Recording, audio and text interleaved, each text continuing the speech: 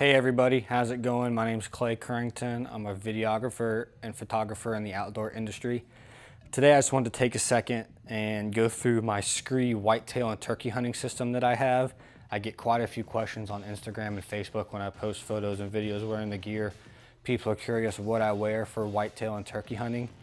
Seeing as Skre is based out west out of Utah and they are a Western clothing company and that's where they cut their roots. They are trying to get into the whitetail market more at the moment and I've kind of adapted their system, taken some pieces, pushed some out, depending on what I need and how my body reacts to certain temperatures.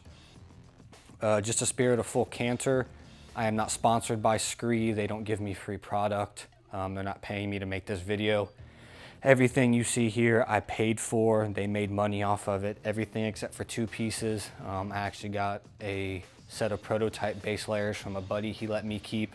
Other than that, I didn't get anything else for free. Um, for sizing wise, I am gonna go through that in the video later on. Um, I'm 5'10", I weigh about 180 pounds. All my shirts and jackets I wear outside of hunting clothing are large all regular street clothes and pants that I wear are 32. Um, so just keep that in mind. If you need sizing information, they have awesome reviews and customer service on their website. So starting off with one of the lightest pieces they make, it's the Alpine SL short sleeve crew top shirt. Um, super durable, super light. It's a polyester blend. I wear this in the summer when I'm scouting or early turkey season when I'm scouting. Um, turkey season, I hunt in Florida. It's where I live, born and raised.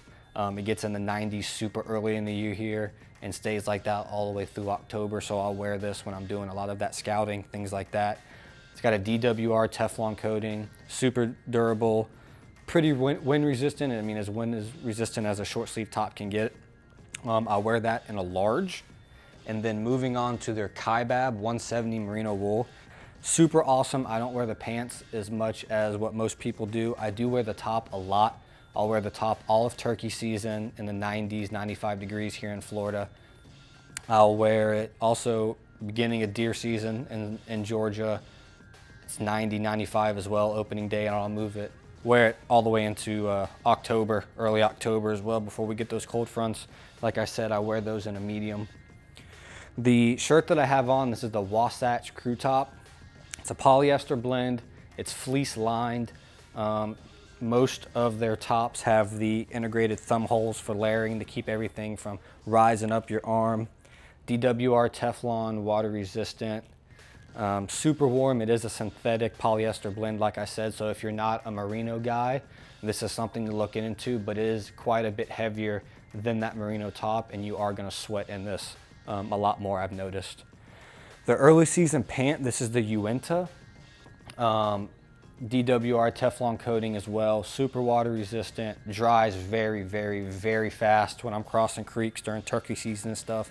These things are dry in 10 or 15 minutes and I forget I even walked through the creek. It's got dual zipper cargo pockets on the front and the back of the pant as well. And I should go ahead and mention all zippers that Skre uses are YKK zippers. So you're getting the best zippers on the market, super durable. I've never broken one.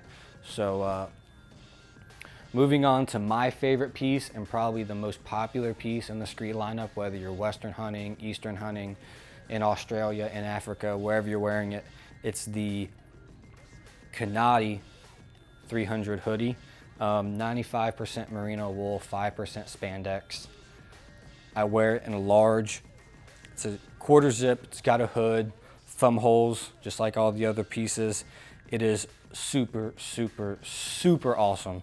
I'll wear this middle of October as an outer piece all the way through December, January when it's super cold and it keeps me warm, works, wicks moisture well, it's comfortable as well, um, and that's what I absolutely love about this piece. I wear that in a large, and I should mention that the Uinta pant I wear in a 34.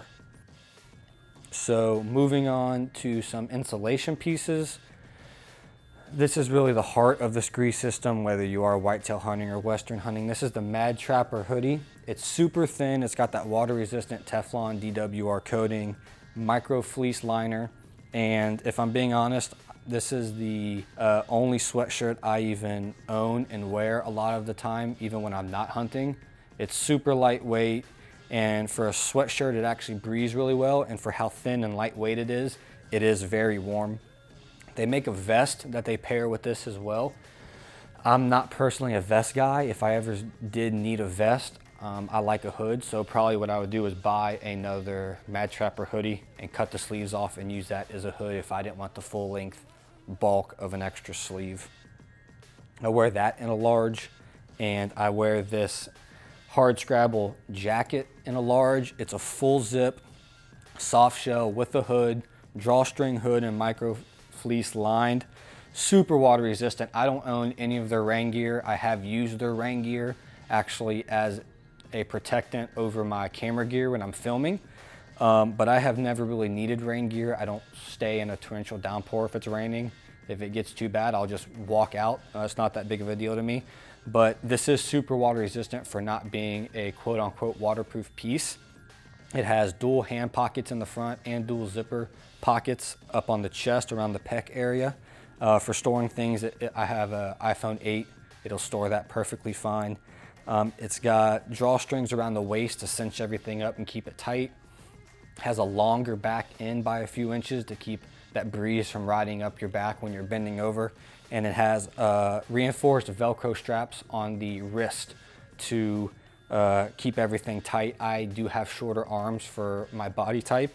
Um, and I like that feature a lot that I can, I can remove some of that bulk by cinching up that uh, strap on the wrist and it keeps everything from folding up over my gloves. Moving on to the pant, this pairs with the jacket, soft shell, micro fleece lined as well.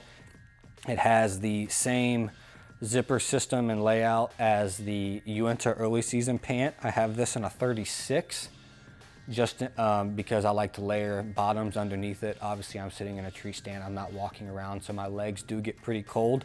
Um, one thing I forgot to mention that the Uinta pant has, also this Hardscrabble pant, is it has side vents on each leg for moisture management and to allow some of the heat to escape your body if you are doing a long hike out west or a, you're doing a longer hike in um, to a stand in the morning. I use those a lot because I will wear a 300 weight merino bottom that I got from um, a hiking company to keep my legs warm and I do tend to sweat in those just because it is a lot of bulk on the legs when you're walking in so I'll use the, that vent to, to keep me cool.